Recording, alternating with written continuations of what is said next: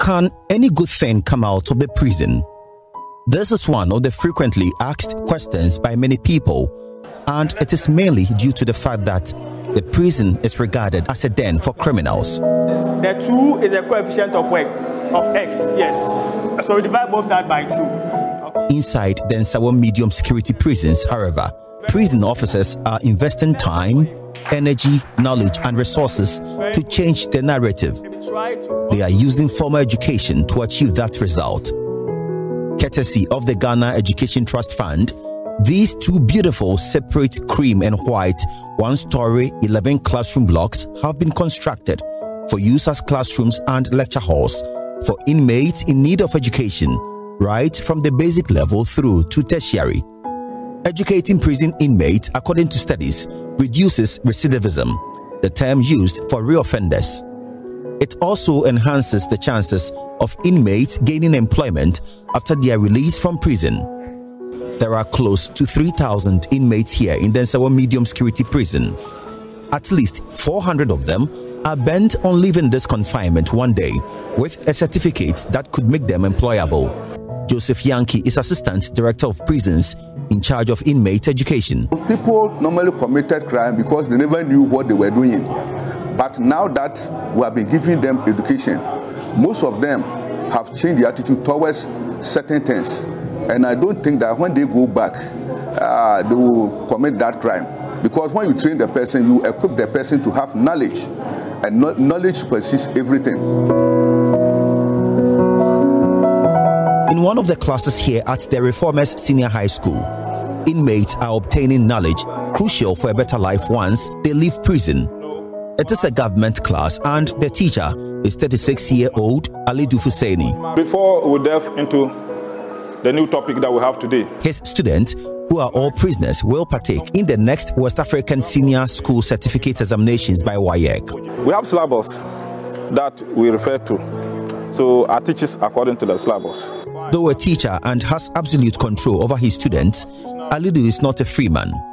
He is also a prisoner, 7 11 year jail term for robbery. I'm the first person in my family to come to jail, and I'll also be the first person in the family to lecture at the government universities in Ghana here or even the training colleges. That is my ambition. This ambition was birthed in this prison, and he took a step to realize it. It is only a determined mind that can combine the harsh conditions in the prison with studies. Since Alidu has no plans to return to robbery when discharged, he's hard to forge ahead. And when he sat the exam, all the efforts he put in paid off. Alidu, the general arts student, got aggregate 11. A1 in geography, A1 in social studies, A1 in history, B2 in government, B3 in English language studies, B3 in integrated science, and C4 in mathematics. Our rights are enshrined in the Constitution, our basic rights, the right to live. Thanks to the University of Cape Coast Distance Learning Program, Alidu is now in level 200 pursuing a bachelor's in education majoring in English and social studies. As the best student here in the Reformer Senior High School, I also decided that no, I have to make sure that that academic excellence that I achieved at the senior high school level was not just a fluke, but it was a dint of hard work. So I decided to carry it along.